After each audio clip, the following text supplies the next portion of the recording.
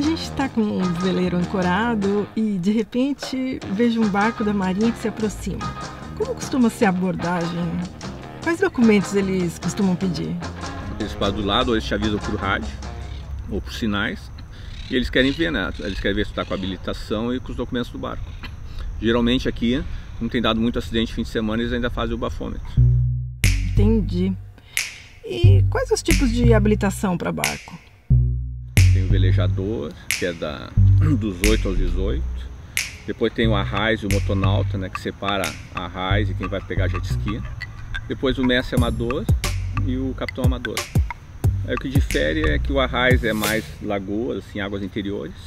O mestre até 20 milhas da costa pode. E o capitão aí é sem limites, pode cruzar o oceano. Mas eu nada impede de eu ter mestre e ir até os Estados Unidos costeando, né? Pode, aí pode, é permitido. O motonauta eles, eles fizeram, antigamente eu fiz o arraiz com 15 anos, tá? Não tinha uh, limite quase de idade. E aí, o que, que se observou com o tempo? Inventaram o jet ski.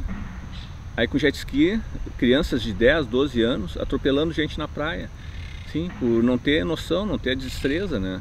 Uh, outro problema, assim, da, do, da lanche, do barco, assim, em si, é que o pessoal pega mais no verão, então fica um ano inteiro sem treinar. E de repente pega um dia e quer fazer tudo naquele dia. E aí é que dá os problemas. Aí a Marinha observou isso aí, né? E viu que era bom separar e dar mais treinamento pessoal do jet ski. E o grande problema do, do barco a propulsão, esses que a gente usa, é que o, o, próprio motor, o próprio hélice, né, ele que é a, a direção. Quando tu está num carro e te assusta, tu tira o pé do acelerador e tu continua com o controle do carro. No barco, se tu parar de acelerar, tu vai reto. No jet ski então é pior ainda, que tu precisa ainda dar uma aceleradinha às vezes para compensar, para poder desviar. Aí o que, que, é? O reflexo é tu parar de acelerar e ele vai reto, não desvia e dá, aí dá o acidente.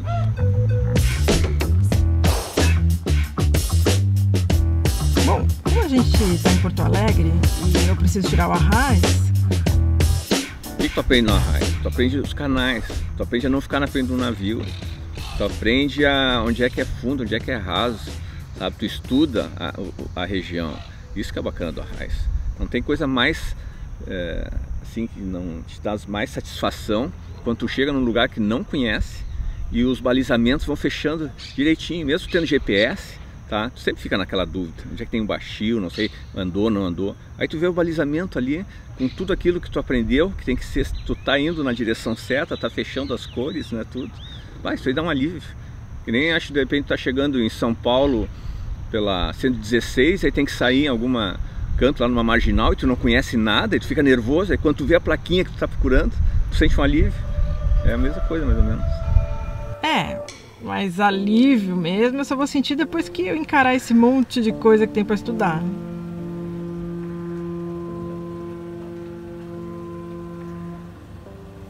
E eu tenho certeza que o comandante desse navio só espera encontrar pela frente quem sabe o que quer dizer esse apito longo. E professor, como é a prova de arraiz? São 40 questões a prova de arraiz. Tu tem que acertar 20. Então o que, que eu fiz? Como eu, eu sou bacharel em Direito, eu fiz muita prova da OAB. Então, para mim, o melhor jeito de estudar é tu fazendo questões. Tá? Então o que, que eu fiz? Eu peguei umas 240 questões, cada uma com cinco alternativas, e nós resolvemos e vemos por que está errado e o que está certo. Então tu quase que revê a matéria toda e tu já vê como é que são as questões da prova. Tá? Então, e pô, 270 para acertar 20, por isso que eu digo, às vezes eh, eles têm lá um arquivo, um banco de dados com 5 mil questões, não sei quanto, então ficam jogando aí. Se tu está na dúvida também numa questão, pensa na coisa mais segura, que a marinha quer segurança, que às vezes tu tem quatro respostas certas, mas uma é mais completa. E eu vi aqui que antes de fazer a prova é obrigatório fazer uma aula prática, então vou agendar aqui. E como é que é? O que, que a gente vê na aula prática? Quando tu faz o para tirar carro ali, carteira de motorista, né? Eles te ensinam a fazer baliza, como é que tu chega, vai dar ré, não sei o que. E tem uma maneira fácil de fazer com o barco quando chega um ângulo de 45 graus. E aí tu vai chegando de frente, devagarinho. Na última hora tu vira todo o volante, né? Lado contrário do pia e dá uma aceleradinha e deixa ele girar no eixo. Tu, tu consegue atracar um barco sozinho, assim, sabe? E então, se tu tá uh, com a prática, lógico, tu chega de qualquer lado, tu já tem a prática, tu já sobe. Mas tu chega num lugar que é muito apertadinho, tu tá com medo de atracar, se tu usar esse beabá aí, não tem como errar, tá? E outra coisa interessante também é na hora de sair, tu vai sair como tu entrou, tu vai virar todo o motor pro lado contrário, né, do, do pier, vai dar ré, tu vai sair de ré, tu não vai bater no pier, no flutuante e sai tranquilo, depois decide para onde é que tu quer ir, sabe? Então são maneiras de tu consegue fazer sozinho, isso tu aprende no raiz. Como é que tu vai amarrar o barco para ele não bater, não bater, não ficar roçando no, no pier, sabe? Aprende para que, que serve certas boias, que às vezes tem muita coisa que a gente ensina que o pessoal não usa, mas é até com o tempo o cara começa a ver que é prático. Sabe, o um que eu gosto de falar muito é a boia de arrinque, que o pessoal joga na âncora, para saber onde é que a âncora tá, sabe? Ela no início assim é, ah, mais uma coisinha para usar, não sei o que. Mas tu chega num lugar que tu não conhece, tem muita pedra no fundo, põe uma boinha de arrinque. Porque se a âncora não sair, tu consegue puxar ela ao contrário, às vezes sai. E se tiver que sair porque tá vindo um temporal, alguma coisa que tiver que sair, tu pode abandonar a âncora aí e vir no outro dia e tu vai achar a âncora. Sabe? Então são coisas assim que tu leva para prática. Outra coisa fantástica que, do Arraiz é a navegação noturna. Quando tu enxerga uma luz, tá? E tu vê que aquela luz uh, tá indo ou tá vindo, tu começa a entender que uma luz te atucando a noite inteira, sabe? É um pesqueiro, tá com rede, não tá? Tu mal enxerga ela, ela tá se aproximando, não tá? Já aconteceu comigo na Lagoa dos Patos, de eu ficar desviando da luz e a luz ficar me seguindo de eu chegar, ver a onda quebrar na proa do navio. Acho que o cara tava dormindo, não sei, ele tava no canal na dele, e eu cada vez me espremendo mais em direção à terra. Teve uma hora que eu mirei na terra. Eu não, prefiro encalhar do que enfrentar o um navio, né? Aí o cara acho, viu que eu me assustei e, e desviou, sabe? Mas é, é uma luzinha que tu fica de olho e tu sabe que, que, se ela tá indo ou se tá vindo. Tu sabe mais ou menos o tamanho da embarcação, sabe? Então isso aí te transmite uma segurança. E sobre essa questão de preferência de passagem, é... como é que é a regra? O barco à vela, né, e, os caiaques, tudo, ele tem preferência sobre quase todos. Não vai ter preferência sobre um navio sem controle, né, a deriva. Não vai ter preferência também em navegação restrita, que é um navio no canal. O navio não pode ser do canal, mas ele vai conseguir parar, mas mesmo assim está correndo o risco ainda de encalhar. Então, no mais, o barco à vela até tem preferência. Mas o que, que a Marinha quer? A Marinha quer aquela é, direção, como é que se fala no trânsito? Defensiva. Direção defensiva, tá? O que, que eu ensino? Uh, tá, tu tem razão, mas o que, que adianta ter razão e bater e tu ficar seis meses parado, um ano parado? Então, desvia. Às vezes tu assume o risco antes, assume tu o risco, tá? E desvia antes. Para que tu vai deixar para ver quem é que tem certeza na última hora? E ainda a pior coisa que tem, vem uma marola de uma lancha, vem a marola da outra pode tu ainda capotar na marola dele, sabe? Uh, e, a, e, uma coisa que eu falo muito, né, que a lancha o problema chega rápido, o barco a vela chega devagar. Então, se tu vê o problema lá longe no barco a vela, tu pode até fazer um preparar um chimarrão, preparar um mate, vai preparar, larga uma costela no forno. Na lancha não, na lancha quando vê já está em cima do negócio, tá? Então, é, o problema é a velocidade num lugar que não está muito acostumado. Eu falo muito dos acidentes que dão, uh, pessoal assim que, principalmente jet ski, que não, não tem muita noção de onde estão andando. Às vezes estão andando 80 km por hora num um, um palminho d'água. Ele acha, ele acha que é um lençol d'água, é fundo todo ele, mas não, ele é todo raso. E às vezes o que acontece? Ele encalha e é, o, a, a, tendência ele dá com as costelas no, no volante, né, no, na direção. O salva-vidas ainda protege um pouco, tá? Para se bater, mas dá muito acidente assim.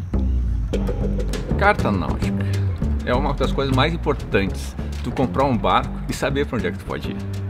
Às vezes tem muita gente que compra um barco, começa a velejar.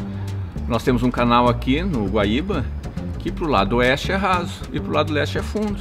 E às vezes tu vê o pessoal indo pro lado oeste assim, tu sabe que vai dar problema, o cara vai encalhar, que às vezes lá do outro lado tem um metro de água. E aí encalhou ali, e se tem um vento leste, não sai a gente tem que ir lá e salvar eles lá. É uma mão desgraçada.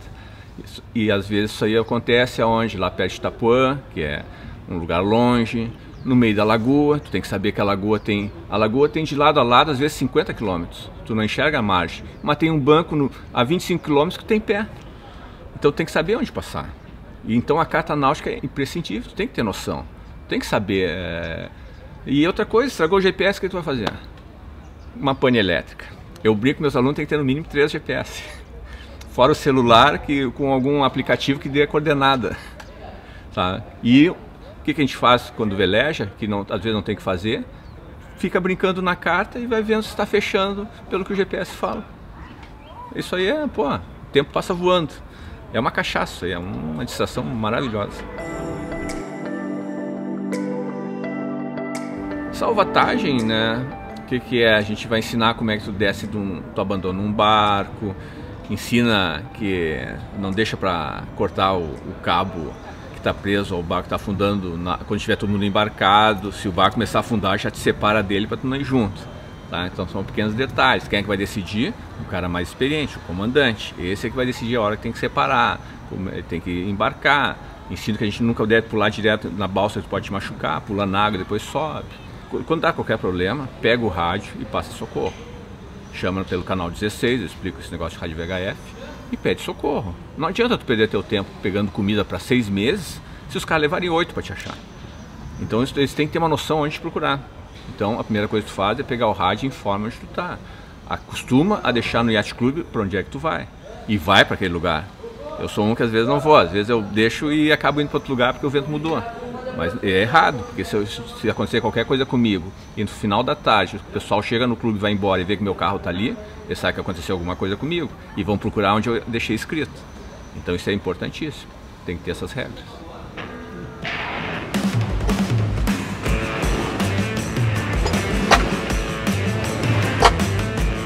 Meteorologia, principalmente para nós aqui gaúchos, que quando vem uma frente fria é árvore seca direto, não fica com uma vela em cima que não sabe o que vai sobrar.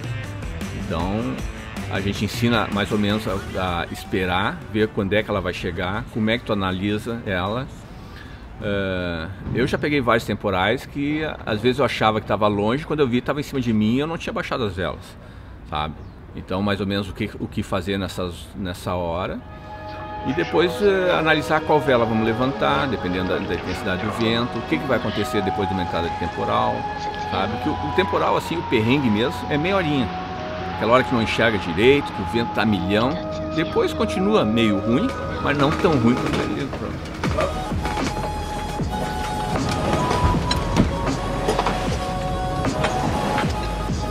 Primeiro, socorros, a pessoa vai ter uma noção sobre que é uma hipotermia, uma insolação, o que fazer, uh, o que, que, é bom, o que, que aconselha, uh, o que, que, a pessoa tem que tomar de água por dia, se for, for náufraga, uh, como é que tu vai injetar um abraço, uma perna, a gente dá uma noção geral, como fazer uma respiração boca a boca.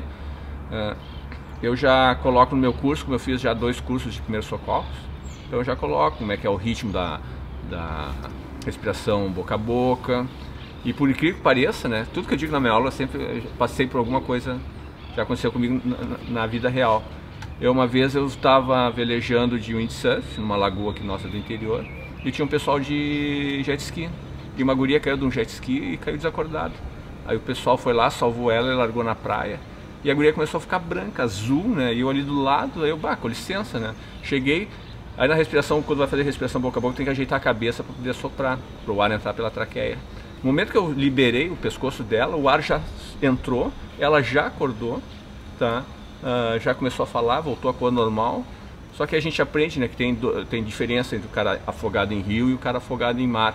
Tem dois problemas aí que a gente vê na aula. Então, o problema ainda não acabou. Levam para o hospital para ver se está tudo, tá tudo bem.